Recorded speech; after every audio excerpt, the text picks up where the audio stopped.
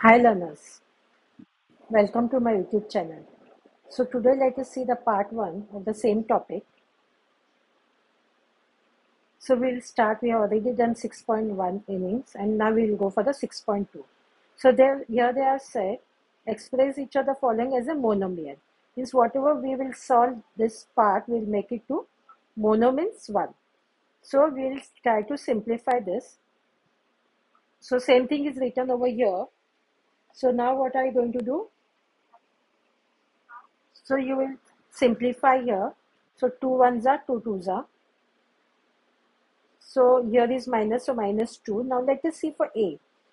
This is 1, this is, again, we have multiplication in between. So you know the rule, A raised to M into A raised to N, that is going to be A raised to M plus N. So this one plus this one, that is going to be A raised to 2. Then we'll see for B. Again for B what we have, here is 1. Nothing means there is a, the exponent is 1 plus this 2. So 1 plus 2 that is going to be 3. And C is alone, so C is just 1. So the answer is minus 2 A square B cube C. Now same here, so this is just a 1, one term, so that is called a monomial. Now here what will you do? First we'll look at the coefficient. Minus 5 into 5, that is going to be minus 25. Then we'll look for x. This is 2. The exponent is 2 plus 2, that is going to be 4. Now we will look for this one y, that is 2 plus 2, that is going to be 4. So this is the monomial. Now here we'll look for, we have pq. So now let us see for p, because this is all multiplication means the exponent is going to get added. So now here p, so this 70, again here 20, and here 30. So, and here is minus. So, we have put minus P 70 plus 20 plus 30. Then multiplied by Q 20 plus 70 plus 10. 20 plus 70 plus 10. So, what will you write? A minus P. So, when you add this one, you get 120. And here, when you add this one, you get 100. So this is the answer. This is a monomial. This is only one term, so that is called a monomial. Now here, we see here, this is multiplication and into 0. So suppose any number is there, when you multiply this into this, and then is 0, means the answer should be 0.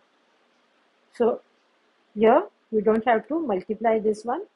You can just write directly 0 because it is again multiplied by 0. So whatever the answer you get this into this. So multiplied by 0 is going to be 0.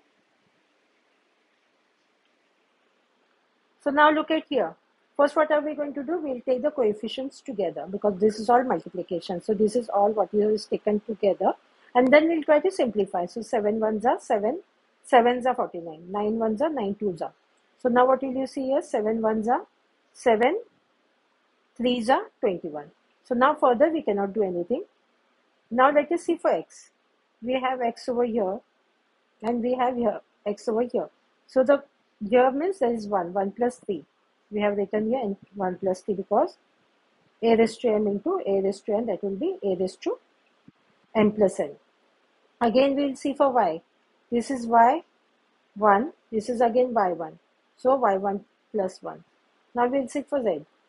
This is 1, this is 2 and this is again 1. So 1 plus 2 plus 1. So now what, what is remaining here? 2 into 4, that is going to be 8. And denominator is 3. x raised to 4, y raised to 2, and z raised to 4. So this is the answer. This is a monomial. Now here, find the area of the rectangles with the following dimensions. Also evaluate the area of the rectangles when x is equal to 4 and y is equal to 1. So now these are the dimensions given. So area of rectangle means that is going to be length into width. So let us consider this as length because there is no number. So anyone we can consider this as length and this as breadth. So this into this one. So what we will do here? We are going to add the uh, multiply the coefficient sorry so that is 24 then what will you do this is x and x that is be 3 plus 2 that is going to be x is to 5 Then we'll see for y, y this is 1, 1 plus 2, that is going to be 3. So this is the area. But then when we take x is equal to 4 and y is equal to 4, x is equal to 4 and y is equal to 1, we'll just substitute in this one. So what do we get here? In place of x, we are going to put 4 raised to 5 and here 1 raised to 5. So 24. When you multiply 4 raised to 5 means 4 you are going to multiply 5 times. So you can just multiply and see we get 1025. And 1 is to 5 anything is to here whenever you have 1 even if it is here 100 that is going to be 1. So we don't have to write here multiply by 1. That is understood. So when you multiply this into this that will be 24576 square units. Why square units? Because this is a rectangle. Uh, sorry, this is the area of a rectangle. Whenever the area is there and we don't know, so we can always write the square units. So just if it is a perimeter, you just write units. But whenever there is area, we write here, we write, we write square units. So now these are the dimensions given. So we will multiply, this is the formula, length into breadth. So we will multiply this into this one. So now let us see the coefficient 5 into 11, that is going to be 55. x 1 plus 3, that is going to be x is to 4. y 1 plus 2, that is going to be y is to 3. So now when we are going to take x is equal to 4 and y is equal to 1. So here for 55, we will write as it is first.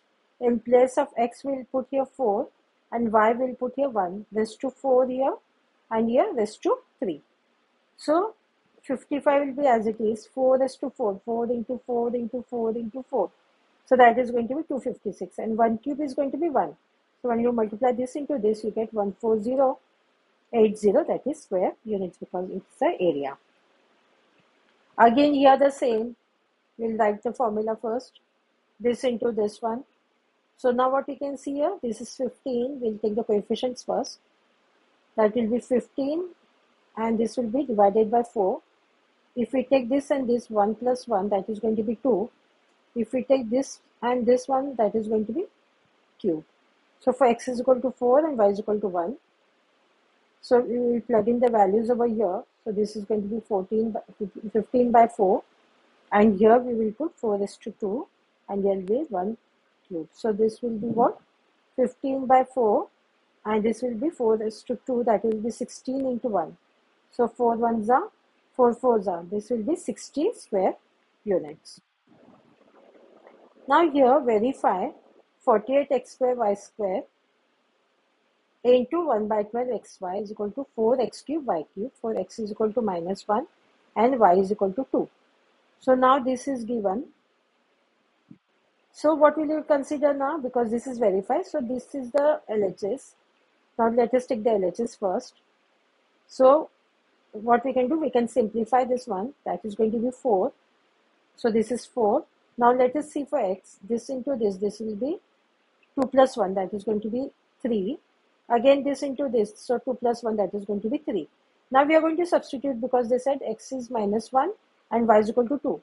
So we'll put here in place of this one minus 1 and this is 2. So this will be minus 1 cube. Minus 1 cube means whenever there is a, here is an odd number means that is all, always going to be minus. If this is an even number, it is going to be positive 1. So well, let us take that minus outside 4 as it is. This 1 is going to be 1 and this is going to be 1 and this 2 cube means 2 into 2 into 2 that is going to be 8. So now when you multiply, this will be minus 32. So left hand side is done. Now we will go for the right hand side. So 4x cube y cube. In place of this x, we will put minus 1. And this is cube. 2 and cube. So now this, as I said, because this is an odd number, so minus 1 into minus 1 into minus 1, that is going to be minus. So this 4 as it is, this is going to be 1 and this will be 8. So this also is minus 32. So we get what we can see here, LHS and the RHS. Both are the same. So we can say LHS is equal to RHS. Therefore, this is going to be equal. So that is verified. So now simplify. So this number is given. These are the numbers given. And then you have to evaluate for putting these values of ABC. So now first this is I have written the, the same thing over here. So now we will simplify. So what happens here? This is A. 8 ones are 8 twos are. So now what will you do here? 2 ones are 2 twos are.